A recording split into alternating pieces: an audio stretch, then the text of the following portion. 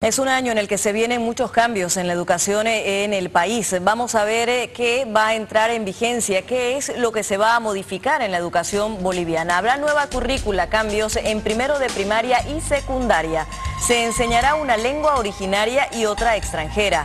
El idioma será definido por padres y maestros en la primera semana de clases.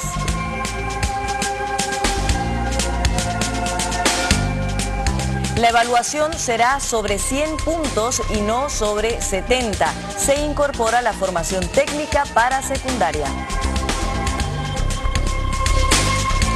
Los cambios incluyen que el año se dividirá en bimestres para los niveles en que se aplica la reforma. Ningún estudiante de primero de primaria será aplazado. Se exigirá que el maestro sea más creativo y genere sus propios materiales.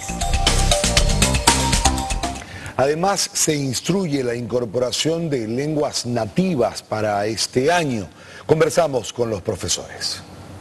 Nosotros todavía no estamos consensuados bien porque según hay que hacer un, eh, pequeño censo alrededor de nuestra unidad educativa y qué familia es más en abundancia quechua, guaraní y todo aquello. después, una vez que se decida eso, eh, acuerdo a eso, vamos a implementarlo. Nos han preparado todavía. Yo, yo pienso, ¿no? como profesora, para empezar con la nueva currícula nos tenían que capacitar a nosotros todavía, pero no nos han capacitado todavía.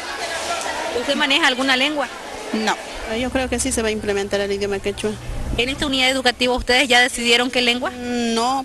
Eh, yo eh, soy de la unidad, educativa Ángela Pinker, eh, estamos con en la zona domina, estamos cerca donde están la comunidad ayorea, entonces estamos planificando de acuerdo a eso, porque estamos en plena planificación.